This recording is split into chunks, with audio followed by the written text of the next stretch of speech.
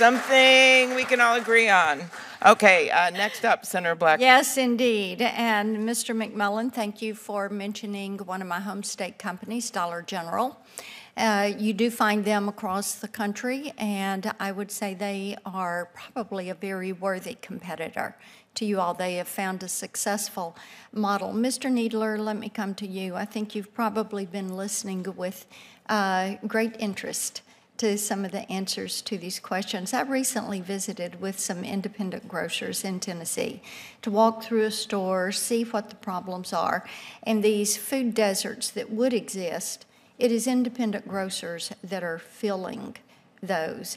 And competition is an important part of that. Do you want to just very quickly, because time is short, weigh in on any comment about how negatively or positively that a merger of this type would affect you all? Look, I think we've we've been pretty clear on the record that we want to make sure that there are there are guardrails in place to make sure that people of our size um, can buy groceries, get access to those groceries um, uh, on a fair and consistent playing field. And if we can ensure that that happens, then we can compete on location, experience, quality, so on and so forth. And service. And service, of course. Um, you know, th- so to the extent that this merger occurs and we're talking about specific markets, very, you know, like LA and these other areas, it's less uh, impact on your uh, district. But um, I think it's just important that we look at this whole thing and think uh, do we have a level playing field first? Are the guardrails that are in place being enforced? And how do we make sure that the little guy can fight the fight? We're not asking for a handout. We're not asking for favor. We're not asking for anything to that extent. We just want a, a, a fair shake and the right A opportunity. level playing field. Yep. And access to the same pricing in spite of all the supply chains uh, issues that have been in front of these. Mr. McMullen, let me come to you.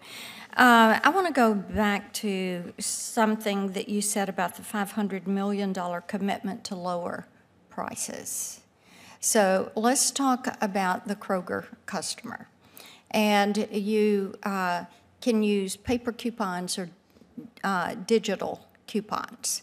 You've talked about personalizing the grocery buying sp- experience to the basket of groceries that that customer buys. Is that correct? Yes. Okay, and the primary reason people shop at Kroger would be lower prices, convenience, Wh- What we, what our customers tell us, it's a combination Okay. of uh, pricing uh, promotions, uh, fresh product, uh, fresh product that lasts when they get it home, our our associates. and we- shelf life. Yes. When, they, when it gets home. Right. Um, Our associates, and that we call employees associates in terms of the friendliness, how long does it Okay. take to check out? All right. Um, so you're looking to personalize that. That means you're going to have data collection that you're going to be focused on, correct? Correct, we do. Okay. And then how do you hold that data? Uh, We hold it internally within the company. We never share individual household data outside of the company. Somebody can get. You don't share it with vendors. uh, Not on an individual basis. No, that's not what I asked. Do Um, you share that do data anonymized- collectively? On an anonymized Okay, basis. that is sharing that data. Um, A customer can get the values uh, from a discount standpoint without giving any personal data. They can get it. Okay, when you put your grocery order in, and then it comes up, um, you know, two for four dollars or two for five dollars when you're looking at different items, that is per, pretty personalized, and that is your goal. So let's be consistent. You're using the retail markets network, and you're collecting this data. You're holding this data.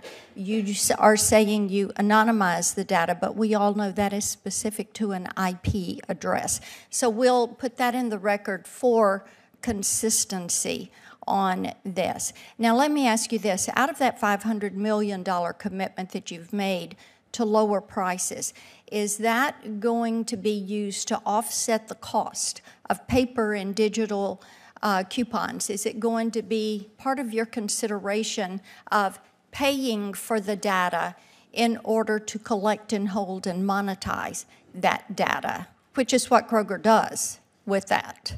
Well, the, the $500 million is a commitment uh, for reduced uh, pricing to the I'm Albertsons trying customer. to get you, and you can submit this to me in writing. What is the manner in which you are going to compensate the consumer for those lower prices?